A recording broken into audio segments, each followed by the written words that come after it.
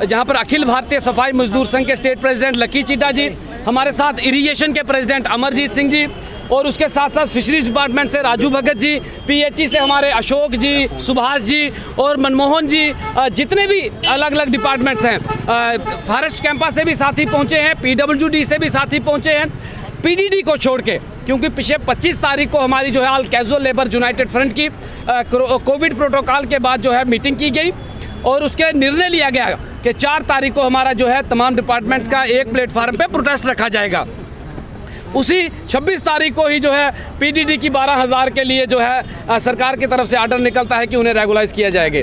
हम इस बात का वेलकम करते हैं कि सरकार ने कहीं बी एंडोरेरियम बढ़ा के उनको जो है बीडीजी के प्रोटोकॉल में लाया जा रहा है। लेकिन कैजुअल वर्कर्स ये कि सौतेली माँ के नहीं हैं।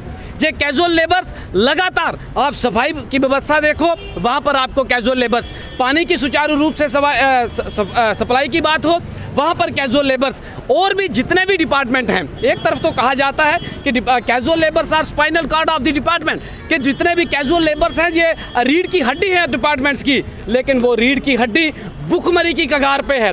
हमारे घरों के हालात देखें आप कैजुअल लेबर्स के माँ बाप जो हैं, वो दवाई से महरूम हैं। उनके बच्चे जो हैं, वो स्कूलों की फीसों से महरूम हैं।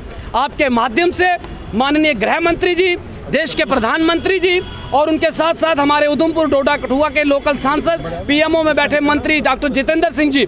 उनसे पुरजोर अपील है, गुहार है कि संज्ञान लीजिए, जल्द से जल्द से इकसठ हज़ार परिवार का जो इशू है कैजुअल लेबर्स की रेगुलेशन का प्रोसेस है, ये फौरी तौर पे हल किया जाए।